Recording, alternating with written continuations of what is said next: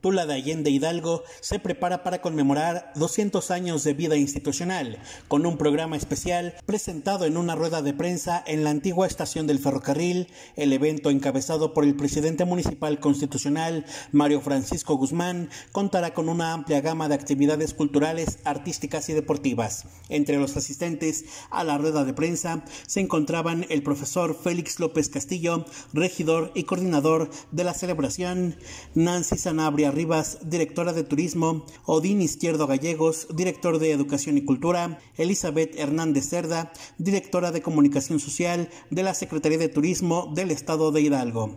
Durante su intervención, Mario Francisco Guzmán destacó la importancia de este evento, expresando su orgullo de que se celebre durante su mandato. El profesor Félix López Castillo ofreció un resumen histórico de la fundación del municipio, mientras que Odín Izquierdo Gallegos detalló el programa de actividades. Se espera una afluencia de más de 4.000 asistentes, con una ocupación hotelera del 65% y un gasto per cápita estimado entre 200 y 250 pesos, generando una derrama económica cercana a los 800 mil pesos, precisó Nancy Sanabria, directora de turismo. El evento principal se llevará a cabo en el Teatro al Aire Libre de Tula de Allende y la celebración incluirá exhibiciones de arte, muestras de artesanías, presentaciones musicales competiciones deportivas. La comunidad y los visitantes están invitados a unirse a esta significativa celebración y a compartir el orgullo de dos siglos de historia y progreso en Tula de Allende, Hidalgo.